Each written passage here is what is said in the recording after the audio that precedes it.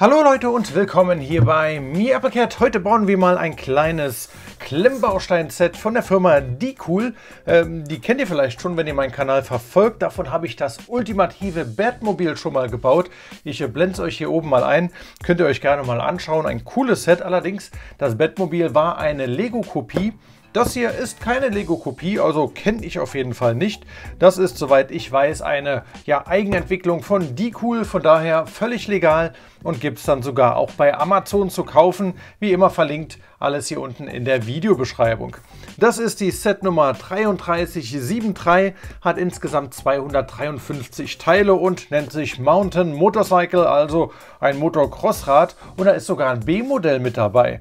Die Größe kann man hier unten sehen, 32 cm wird das Teil lang. Und auf der Rückseite sehen wir das B-Modell, das ist dann so ein, ja, so ein Stuntbike oder wie nennt man die Dinger, mit denen man da rumhüpfen kann über die ganzen Hindernisse. Ähm, Finde ich jetzt optisch ehrlich gesagt äh, relativ uninteressant, aber das A-Modell, das sieht auf jeden Fall ganz cool aus hier mit, sieht man hier mit äh, echtem Kettenantrieb, wie das ausschaut. Es gibt einen Ständer, den man ausklappen kann. Ja, also ich bin gespannt und dann würde ich sagen, packen wir das Ding mal aus und legen los. Und so wird uns das ganze Set hier präsentiert. Ihr seht, wir haben hier einen ganzen Karton, den wir rausziehen können. Da sind dann die einzelnen Tütchen drin mit den Bauteilen. Soweit ich das hier sehen kann, haben wir keine Bauschrittnummerierung, aber bedruckte Teile. Das ist schon mal sehr gut. Klar, bei 253 Teilen, da kann man durchaus mal auf die Bauschrittnummerierung verzichten. Einen Teiletrenner haben wir hier auch drin. Der sieht verdächtig nach Lego aus. Und äh, ja, noch ein Tütchen, also eins, zwei, drei, vier Tütchen. Dann haben wir hier die Felgen von unseren beiden Rädern. Ja, die sind, äh, die sehen stellenweise schon ein klein bisschen vermackt aus, aber sonst schön silbern. Doch, das sieht okay aus. Und dann haben wir hier noch die Reifen, schön fettes Offroad-Profil und äh, ja, die machen einen guten Eindruck. Wobei der hier, der ist ein bisschen, bisschen aus der Form geraten. Na, mal sehen. Ich denke, das kriegen wir schon hin. Und dann haben wir hier noch unsere Anleitung, ein kleines Anleitungsheftchen. Und mal schauen, wie sich das hier darstellt. Ja, also sehr bekannt, wie hier alles gezeigt wird. Ist das hier vielleicht doch ein Lego-Set? Freunde, schreibt es mir mal in die Videobeschreibung. Ich glaube nicht, dass es das hier von Lego gibt. Habe ich noch nie so gesehen, aber das sieht schon irgendwie alles sehr ähm, ja, Lego-mäßig aus. Zumindest hier von der ganzen Aufmachung. Wir blättern mal flott durch und äh, müssten ja irgendwo hier dann mit dem A-Modell fertig werden und dann auf das B-Modell kommen. Wobei, nö, hier ist also wirklich nur das A-Modell drin. Das B-Modell kann man sich wahrscheinlich dann runterladen. Keine Ahnung. Also, ihr seht 57 Seiten. Dann ist hier das Motorrad fertig, unser Motorcycle. Und ach ja, genau, hier, hier haben wir den QR-Code. Da kann man sich die Anleitung dann für das B-Modell herunterladen. Okay, sehr schön. Das schaut doch alles gut aus. Dann fange ich mal an zu bauen.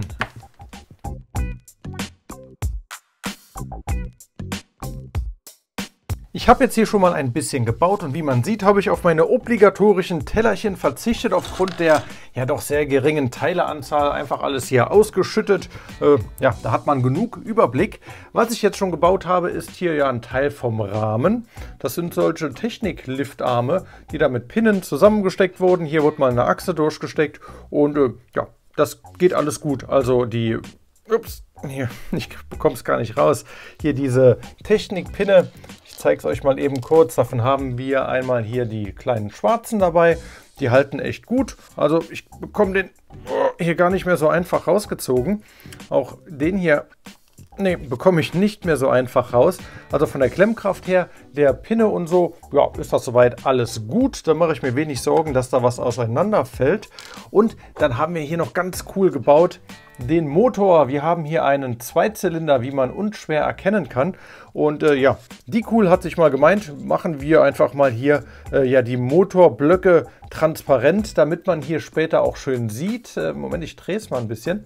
Da könnt ihr das erkennen, wie sich hier die verschiedenen Zylinder, also die beiden Zylinder, hoch und runter bewegen, damit man nicht nur hier oben dann immer das kleine gelbe Nippelchen sieht, das hochkommt, sondern auch gleichzeitig hier erkennen kann, wie sich die Zylinder bewegen. Das ist eine nette Idee, finde ich. Ist eine schöne Idee. Ließ sich auch gut bauen bisher, also von den Teilen macht das einen ordentlichen Eindruck. Was mir hier jetzt aufgefallen ist, wenn ich mal auf den Druck gucke, dachte ich zuerst, oh, der ist aber nicht so in Ordnung. Der sieht hier so ein bisschen abgewetzt aus an manchen Stellen, aber das muss so. Denn das ist so ein bisschen Used Look, der hier mit reingebracht wurde. So, wenn ich mir die Drucker anschaue, sehen die eigentlich gut aus. Da kann ich nicht großartig meckern. Auch hier Asphalt Champion Sport ja, sieht gut aus. Also auf jeden Fall viel, viel besser, als wenn hier irgendwelche ja, Lego-Style-Aufkleber mal wieder drauf kämen. Also es gibt gar keine Aufkleber hierbei und ich bin immer wieder verwundert, wie die ähm, ja, Billig-China-Hersteller das hinbekommen, hier alles so schön aufzudrucken und der Premium-Hersteller Lego, der knallt einen da immer mit irgendwelchen Aufklebern zu, selbst bei den richtig, richtig teuren Sets.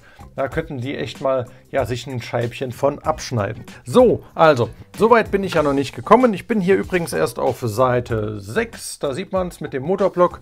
Also mache ich nochmal weiter. Wir halten fest von der Teilequalität äh, und von der Bauanleitung und von dem Bauen selbst, der Klemmkraft, bisher alles gut.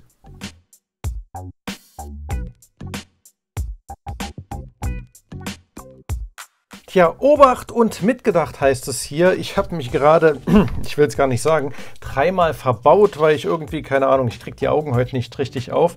Einmal habe ich vergessen, das Teil hier noch vorne anzubauen. Dann habe ich bei dem Zusammenbau von dem Teil hier, was hier schön gezeigt wird, habe ich das irgendwie falsch rumgesetzt. Und naja, auf jeden Fall, ich musste hier mehrfach hier hinten diese Konstruktion mit diesem langen Liftarm, der hier unten befestigt wird, nochmal rausnehmen und konnte dabei den Teiletrenner mal ja, ein bisschen ausprobieren. Und äh, ja, hat gut funktioniert. Glücklicherweise. Und ihr seht schon, wie weit ich gekommen bin. Das hier ist, äh, ja, wie nennt man das? Der Motor, der jetzt im Rahmen drin sitzt mittlerweile. Und wir haben auch die, ja, den Antrieb quasi. Also hier haben wir ein Zahnrad drin sitzen, hier dieses schwarze, ich hoffe man kann es sehen, und dann hier dieses kleine beige auf der Achse. Und wenn ich jetzt hier mal an der Achse drehe, dann kann man sehen, oder ja, doch man sieht es, dass sich jetzt hier dann die Zylinder nach oben bewegen auf beiden Seiten. Ja, aber viel mehr sieht man dann leider doch nicht mehr hier vom transparenten Motorblock. Also nicht so viel, wie ich gedacht habe, weil der noch ein bisschen mehr umbaut wird. Aber dennoch, glaube ich, sieht man mehr, als wenn das Ding jetzt hier komplett äh, silbern wäre. Ja, also funktioniert auf jeden Fall soweit und das ist gar nicht so einfach, hier die Teile auseinander zu bekommen. Was allerdings gut ist hier an der Anleitung, ihr seht, wir haben hier immer solche Darstellungen von den kleinen Achsen zum Beispiel und die passen. Die passen 1a, also 1 zu 1 Abbildungen. Da kann man sich eigentlich, nee, da kann man sich eigentlich gar nicht vertun, wenn man die Äuglein aufhält. Und hier haben wir nochmal so einen ganz großen Liftarm, den lege ich hier auch mal drüber und ihr seht auch hier, jo, passt das Ganze. Also, soweit äh, alles gut. Die Komplikationen, die kamen hier von äh, mir, weil ich nicht richtig aufgepasst habe. Und äh, naja, weiter geht's. Da fehlt ja noch eine ganze, ganze Menge an meinem kleinen Motorrad. Also,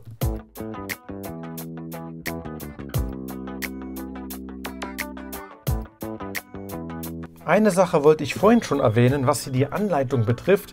Äh, was mich zum Denken bringt, äh, das hier ist doch keine Lego-Anleitungskopie, denn dafür ist die nicht, äh, ich sag mal, kindgerecht genug. Denn man muss hier ab und an mal richtig mitdenken. Wie zum Beispiel, ich zeige es euch mal, wo mir das zum ersten Mal aufgefallen ist. Genau, das war hier bei dem Bauabschnitt. Da muss man nur zwei schwarze Technikpinne verbauen und man bekommt gezeigt, ja, wo der eine reinkommt, aber wo der andere reinkommt, das bekommt man nicht gezeigt. Klar, jeder, der nicht total, äh, sage ich, Banane ist, der sieht, das kommt auf die andere Seite dann logischerweise. Aber was ich meine, es gibt keinen extra Pfeil, der nochmal dorthin zeigt, sondern ist ja klar, der eine kommt hier rein, der andere muss auf die andere Seite rein. Und genau das gleiche haben wir hier bei dem Bauabschnitt 20. Das sind auch nur fünf Teile und dann wird hier was reingesteckt, zusammengesteckt und äh, ja, dann dachte ich, da fehlt noch irgendwie ein Teil, denn ich habe jetzt hier nur die beiden blauen Pinne und diese weißen äh, kleinen äh, Liftärmchen hier verbaut, aber hier die Achse, ja, die wird mir nirgendwo angezeigt, wo die jetzt hier reinkommt. Also Suchbild, Suchbild, ah, da war sie gewesen und da musste man dann noch hier die Achse mit einstecken. Von daher, ja, das ist, äh, glaube ich, hier wirklich, kann ich jetzt mit Sicherheit sagen, ein Decool Eigenbau oder das haben die sich selbst ausgedacht oder eingekauft als Mock oder irgendwie sowas in die Richtung. Auf jeden Fall keine Lego-Kopie. Soweit bin ich im Übrigen gekommen. Hier habe ich schon die ersten bedruckten Teile angebaut ans Heck. Dann haben wir hier schon mal den hinteren Stoßdämpfer reingebaut und äh, ja, der Rahmen, der wurde mittlerweile auch noch weiter ausgebaut. Es lässt sich bisher immer noch alles gut bauen, also mache ich direkt weiter.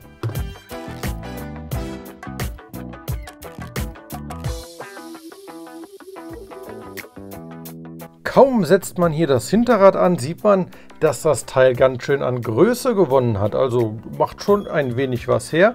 Und ich könnte es theoretisch fast schon aufstellen, denn hier unten habe ich schon den Ständer angebaut. Das ist das Ding hier. Den kann man dann hochklappen. Und wenn man dann ja, anhält zum Abstellen, kann man den auch runterklappen. Also Ständer ist dran, aber viel interessanter ist doch einmal hier das Hinterrad, denn wir haben dort, ich drehe es mal eben um, da seht ihr das hier ein riesen Zahnrad mit dran und hier vorne noch ein kleines Zahnrad. Da wird wohl nachher die Kette drüber laufen, ganz klar. Die liegt noch hier hinten in Einzelteilen, freue ich mich schon drauf, die zusammenzubauen. Und was hier auch noch ganz schön zu sehen ist, wir haben hier nochmal zwei kleinere Zahnräder und wenn ich das jetzt hier irgendwie hinbekomme, dass ich das mit einer Hand drehen kann.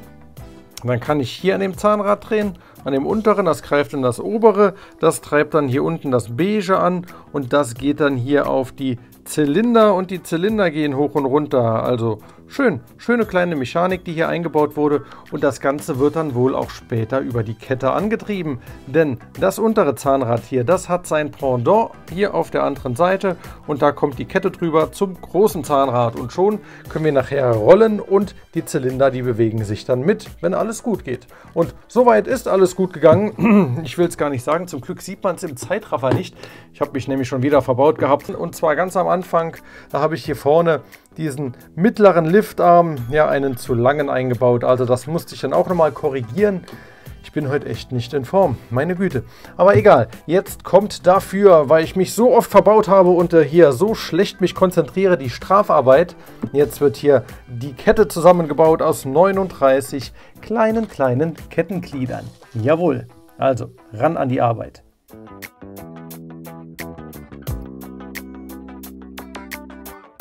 Haha, die Kette sitzt allerdings, ihr seht, ein bisschen wubbelig, ein bisschen locker, je nachdem wie man sie dreht. Im Rückwärtsgang sieht es gut aus, im Vorwärtsgang, ja, also es funktioniert, aber äh, sie ist ein bisschen locker. Da könnte man vielleicht sogar noch ein Teilchen rausnehmen. Ähm, was mir hier noch ja, passiert ist beim Zusammenbau dieser kleinen Teilchen, ihr seht ja schon, wie die zusammengesteckt werden.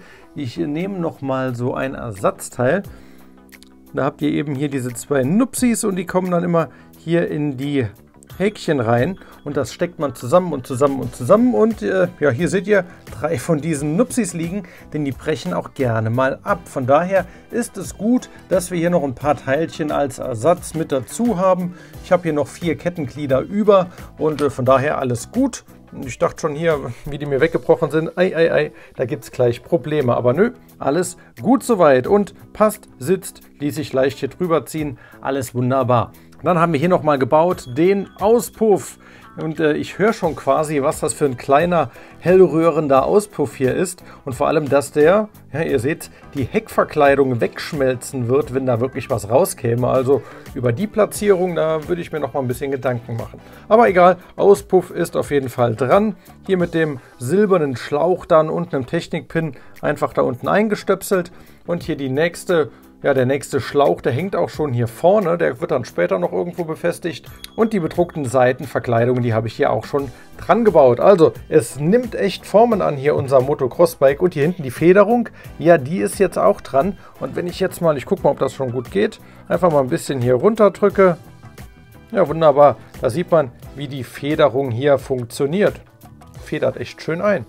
Doch, Gut, gut, gut. Also macht echt Spaß hier das Ding zu bauen. Ist mal was ganz anderes als immer nur hier die ganzen Autos und so zu bauen. Einfach mal ein Motorrad, ein Zweirad, mal zur Abwechslung. Ich bin übrigens auf Seite 38 und das bedeutet, wir haben insgesamt noch, na wo stehen wir denn?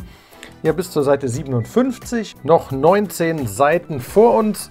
Von daher weiter geht's und hier sind noch die restlichen Teile. Übrigens hier den Reifen auf die Felge zu bekommen, Das hat auch schön funktioniert, aber das war auch mein guter Reifen, denn hier ist ja der verformte. Ich bin mal gespannt, ob der sich da schön in die Form dann einfach reindrückt oder ob es da Probleme gibt. Wir werden es sehen.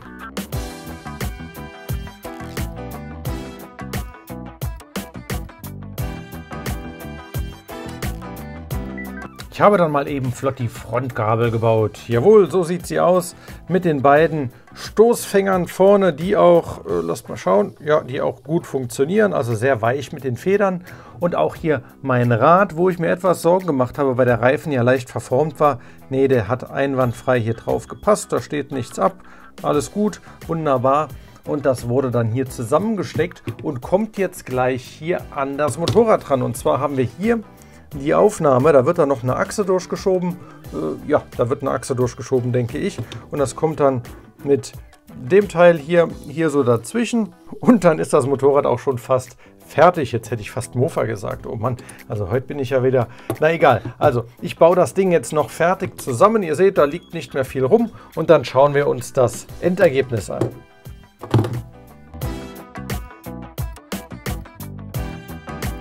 Und fertig ist unser Motocrossrad. Und ihr seht, ich habe sogar schon jemanden gefunden, hier, der sich draufgesetzt hat. Boba Fett, der passt ja hier wie Arsch auf Eimer. Also von der Größe her, falls ihr noch solche äh, Buildable Figures hier habt, die äh, gibt es ja glaube ich mittlerweile nicht mehr von Lego oder die werden nicht mehr hergestellt. Aber wenn ihr welche habt und ihr wollt hier zum Beispiel eure ja, Star Wars Figürchen mal ein bisschen hier auf ein Motorrad setzen, erinnert mich gerade ein bisschen an den äh, Star Trek Film. Kennt ihr Star Trek Beyond, wo Captain Kirk da mit dem Motocrossrad am Ende völlig out of place da durch die Gegend fliegt? Jo, wieso nicht? Ja? Könnt ihr mal hier eure Star Wars Truppen oder auch die Helden ein wenig motorisieren. Passt auf jeden Fall größenmäßig.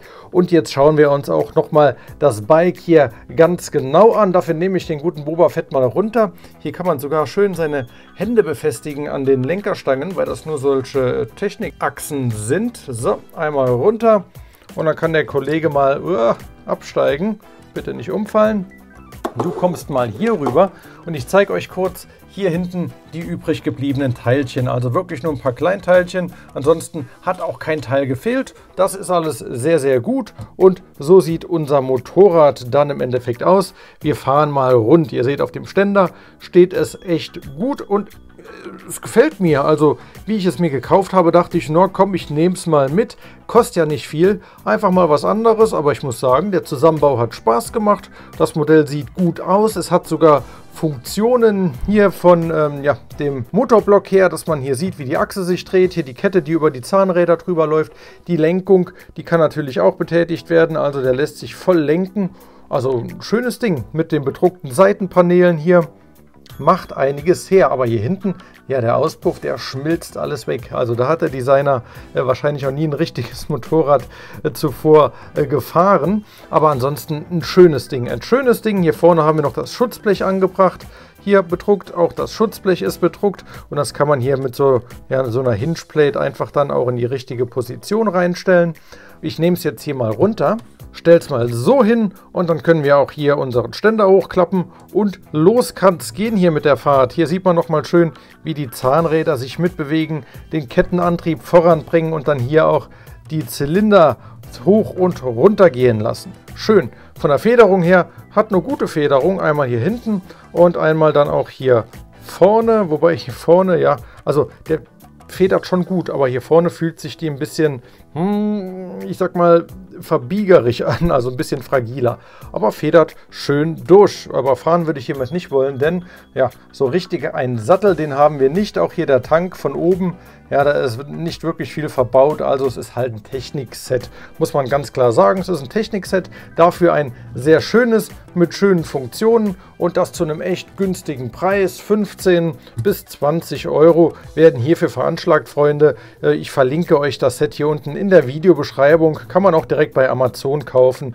Und äh, wer mal auf so einen schönen Sonntagnachmittagbau Bock hat oder selbst so ein Motocrossrad fährt, tolle Sache. Also echt tolle Sache. Macht's ruhig, macht Spaß, macht Freude und man kann es auch dank dem Ständer, so, einmal ausgeklappt, auch wunderbar dann später hinstellen.